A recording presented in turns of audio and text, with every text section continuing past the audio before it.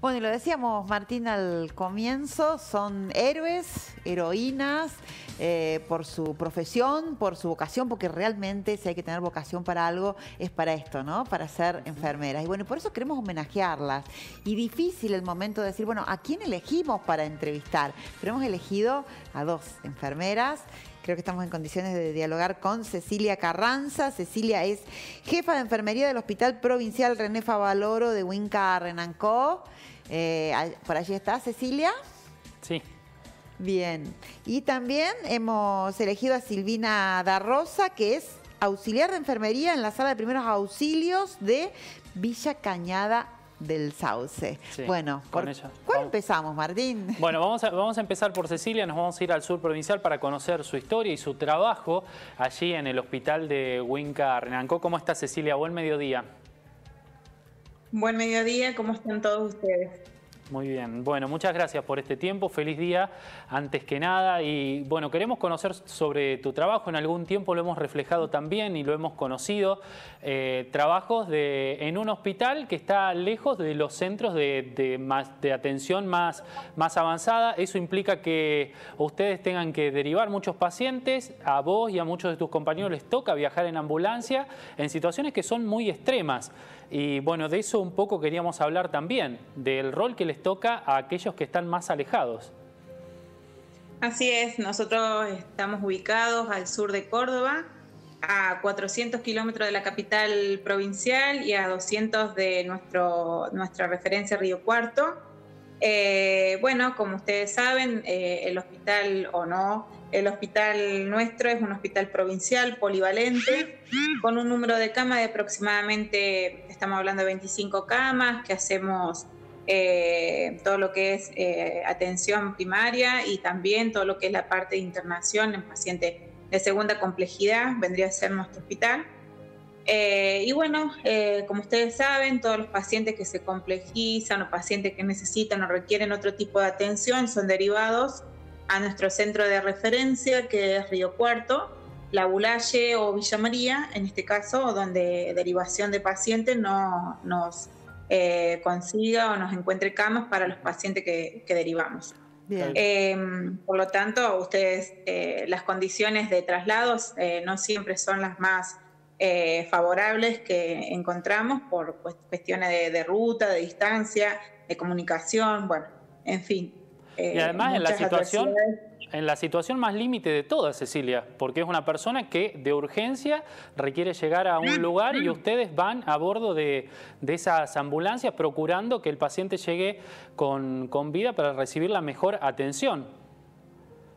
Así es, nosotros eh, estamos, eh, en realidad el equipo ha sido formado y preparado para, para poder, eh, poder trasladar pacientes, son todos de alta complejidad, pacientes que tienen que ser trasladados respirados, pacientes prematuros extremos, bueno, nosotros nos encontramos con diferentes tipos de patologías que la verdad eh, tenemos que siempre estabilizar el paciente y luego de estabilizarlo lo trasladamos a los lugares que, que nos designen. Pero siempre eh, nuestros traslados son a bordo de médicos, enfermeras, choferes y bueno, si en este caso necesitamos doble equipo de enfermería, se, sube doble equipo de enfermería. Y si hay alguien que en quien se apoya el, paciente es en la enfermera, ¿no? Uno escucha siempre a las enfermeras decir que le cuentan cosas los pacientes que por ahí no se animan a contarles a los médicos. Entonces es un apoyo emocional muy importante. Y hay lugares en los que a lo mejor hay un médico una vez a la semana y la enfermera allí es fundamental, que es el caso de Silvina da Rosa. ¿La tenemos para ahí Silvina? Silvina, ahí estás. Hola. Hola. Que, bueno, estás ahí en Villa Cañada del Sauce y, sos a quien recurre la gente cuando tiene algún problema.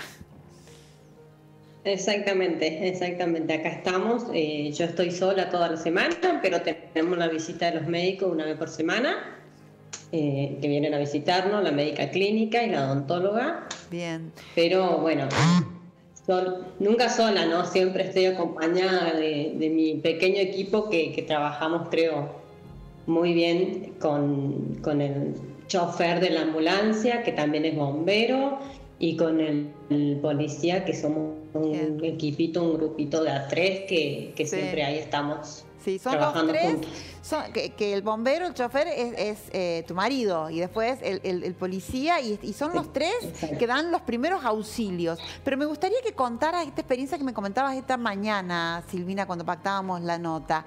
Eh, este señor que le salvaste la vida, el diagnóstico fue acertado.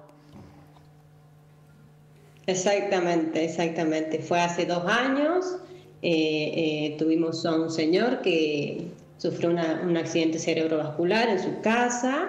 Eh, nos llamó la esposa, acudimos al lugar y nos dimos cuenta de, sus síntomas, que estaba sufriendo una CB. lo trasladamos inmediatamente al hospital de Río Cuarto y bueno, gracias a Dios y al, al traslado inmediato eh, hoy está sin secuelas. Sin No tiene secuelas eh, de su enfermedad. Y claro, porque la ACV, bueno, como muchos casos en la salud, los segundos cuentan y la reacción fue rápida. Y allí estuvo Silvina, tu esposo, eh, bien, para reaccionar rápidamente. Mm, y, volvemos a Cecilia, que también muestra lo que hacen las enfermeras, ¿no? Que es perfeccionarse constantemente. Y, en el caso tuyo, Cecilia, formaste parte de un grupo de investigación para eh, el tratamiento de, de, bebés, ¿no? Que tengan algún problemita de salud y que tengan que ser trasladados rápidamente y que no sufran ningún daño cerebral. Así es, hace, tuve la oportunidad eh, hace tres años atrás en presentar un trabajo de investigación en Barcelona, España, eh, del tema eh, que nosotros presentamos, la hipotermia inducida en el recién nacido para evitar patologías neurológicas o el daño neuronal de los niños. Y la verdad, con lo que nosotros podemos hacer con nuestro, con nuestro equipo de trabajo, con nuestras herramientas, es inducir a una hipotermia parcial del recién nacido eh, para evitar eh, lo que son eh, los daños neurológicos y que ese recién nacido tenga las mismas posibilidades que tiene un recién nacido que nace en un centro de mayor complejidad, como Bien. Cuarto, Bien, bien. Y, volvemos a Silvina, que también se sigue estudiando, perfeccionándose, pero también se me ocurre, ¿no? ¿Cómo hay que recurrir al ingenio en, lugares en los que están alejados de los centros de alta complejidad, Silvina, ¿no? Exactamente, sí, sí. Eh, generalmente, bueno, eh, aquí nos, tenemos muchos accidentes en moto, eh, en tránsito es el que más accidentes tenemos porque somos un obviamente un pueblo turístico y con mucho tránsito de motos, que es lo que más tenemos. Eh, y bueno, el, hecho de salir a la calle, eh, saber cómo inmovilizar a un paciente para poder trasladarlo de la mejor manera y bueno, que, que su recuperación, gracias a eso, sea completo, ¿no es cierto? Sí.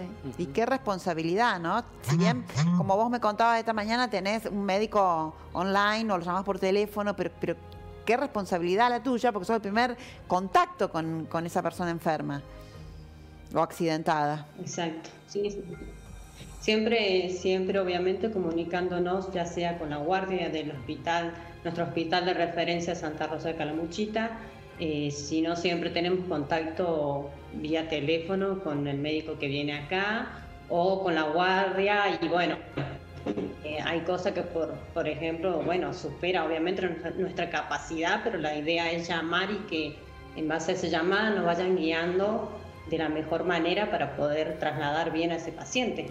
Bueno, son, son eh, dos historias distintas, pero podríamos encontrarle un denominador común que tiene que ver con ponerse al hombro la salud de los demás, en un caso luchando contra las distancias, en otro caso eh, suplantando o haciendo de vínculo entre el médico y el paciente, como pasa en el caso de, Silvana. Me gustaría, Vanina, para, para ir cerrando la nota, preguntarle si se sienten reconocidas, sobre todo en esta época de pandemia si se han sentido reconocidas en su trabajo como, como enfermeras o, qué falta para que se las reconozcan como son, como uno de los principales agentes de salud. Y a veces el reconocimiento está por, en realidad, por la comunidad, por algunos directivos que, que pueden reconocer nuestra labor, pero a nivel, a nivel de remuneración o de, o de posicionamiento, a veces nos falta un poco de reconocimiento a lo que es enfermería y es la lucha diaria que tenemos nosotros eh, en esta formación, en este posicionamiento que estamos eh, logrando a partir de, muchas intervenciones de diferentes asociaciones como de Enfermería de Córdoba, el CIE, bueno, diferentes instituciones que nos representan a nivel mundial, local, regional. Tratamos de que se reconozca nuestra labor y que que nuestros profesionales de la salud sean no solo reconocidos, sino también que sean remunerados como corresponde y, que se le dé el lugar que realmente merecemos en muchas ocasiones. Sí, Silvana, ¿vos qué pensás? ¿Reconocen tu trabajo allí en Villa Cañada del Sauce? Y realmente lo que, los que reconocen nuestro trabajo, como dice la compañera, son, es el pueblo, es la gente que, que, cuando tienen ese traslado o esa ayuda, realmente te lo hacen sentir y, y, ellos sí realmente reconocen nuestro trabajo. También yo, gracias a Dios, tengo, estoy trabajando en un lugar, en un pueblo muy chiquito que la gente eh, es todo, es muy agradecida. Eh, nuestro, nuestro equipo de trabajo siente ese agradecimiento de la gente y, y, de acá de la comuna también siempre, pero no como, no realmente como nosotros nos merecemos, como dice la colega ahí, de, remuneración y demás, eh, estamos ahí como, como perdidos, ¿no? Eh, por el gran trabajo que hacemos realmente nosotros, eh, empezando desde el acompañamiento a la gente, no solamente acá en en, el lugar de trabajo, sino que también salir, verlos en la casa, salir en la calle. Estamos en todos lados, me parece, ¿no? Así es.